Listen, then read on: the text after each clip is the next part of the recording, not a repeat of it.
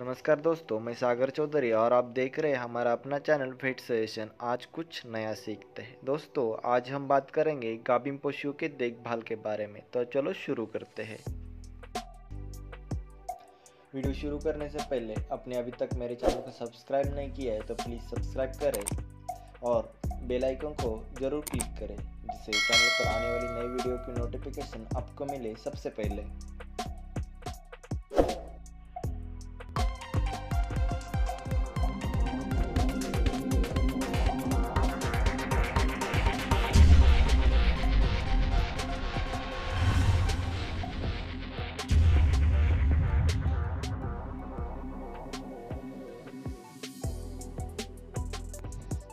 दोस्तों, गाभिन पशु में सबसे ज़रूरी है पशु की रहने की जगह। गाभिन पशु में रहने की जगह ऐसी होनी चाहिए जिस पर खुली हवा हो, बैठने के लिए साफ़ सुथरा हो, जहाँ पर कीचड़ मलमूत्र की बास ना आती हो। और सबसे महत्वपूर्ण, बैठने वाली जगह पीछे से ऊपर और आगे से झुकी होनी चाहिए। दोस्तों, जगह चुनते समय ये याद रखें जिस पर शोर शराबा ना हो, जिसे पशु में तान तनाव ना आए। दोस्तों, इसके अलावा सबसे महत्वपूर्ण बात है पशु को 10 से 15 मिनट हर रोज चलाना जिसे पशु का चारा अच्छी तरह से पहुँच जाएगा और हमारे पशु स्वस्थ रहेगा। जब इसका बहने का समय नज़दीक आता है तो उसको दिक्कत नहीं आएगी। इसलिए याद रखना 10 से 15 मिनट हर रोज चलाना ज़रूरी है। इसके बाद सबसे महत्वपूर्ण है गाभिन पशुओं को पानी देना। गाभिन पशु को दिन में कम से कम 70 से 80 लीटर पानी देना ज़रूरी है। ये मात्रा सर्दी के हिसाब से कम ज़्यादा हो सकती है, जैसे कि सर्दी के मौसम में कम पानी पीता हो और धूप के मौसम में ज़्यादा पानी पीता हो। और साथ में याद रखें, सर्दी के मौसम में ज़्यादा ठंडा पानी ना पिलाए और गर्मी के मौसम में ज़्यादा गर्म पानी ना पिलाए। इससे पशु को तकलीफ़ हो सकती है। दोस्तों, साथ में याद रखें, गाभिन पशु का चारा पानी का समय और मात्रा एक जैसी रखें।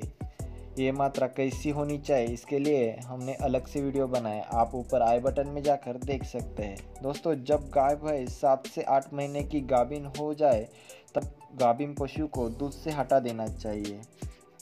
यानी कि गाभिन पशु को दूध नहीं निकलना चाहिए जिससे आने वाले बाद में पशु के शरीर में विटामिन और मिनरल की संचय हो सके और आगे जाकर आने वाला ब्यात में पशु अच्छा दूध दे।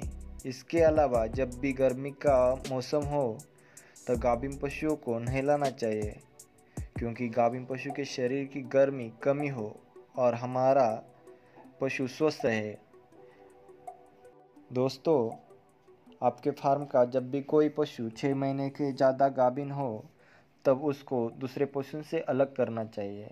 और उस पशु का टीका एआई और अन्य जानकारी एक कार में लिख कर रखनी चाहिए, जिससे हमें सारी जानकारी एक जगह पर मिले। दोस्तों, गाभिन पशु के खुर की सफ़ाई समय पर करना ज़रूरी है। इसके अलावा पशुओं के स्तन की सफ़ाई भी अच्छे से करवाए। याद रखें, जब भी हम दूध निकालना बंद कर देते हैं, उस समय गाभिन पशु को मास्टरटिस होना ये आम बात है। इसलिए याद रखें, जब भी पशु का दूध निकालना बंद कर रहे, उस समय पशु का स्तन हमेशा सैनिटाइज करते रहे, जिससे आगे जाकर पशु में मास्टरटिस ना हो। जब भी पशु का बयाने का समय दो से चार दिन नज़दीक आता है तो पशु को एनर्जी बूस्टर दवा खिलाए। साथ में कैल्शियम भी दे, जिससे पशु में बयाने के लिए ताकत निर्माण हो। और साथ में याद रखें आने से पहले किसी भी गाभिन पशु का दूध ना निकाले। पशु का दूध ब्याने के बाद ही निकालना है। और पहला दूध पशु के बछड़े को ही पिलाना है। पशु के बछड़े की कैसी देखभाल करनी है, इसके लिए मैंने अलग से वीडियो बनाया आप ऊपर आई बटन में जाकर वो देख सकते हैं। उम्मीद है आपको वीडियो पसंद आए होगी। बस वीडियो को लास्ट तक देखने के लिए धन्यवाद। अभी तक अपने मेरे चैनल को सब्सक्राइब नहीं किया है, सब्सक्राइब कीजिए।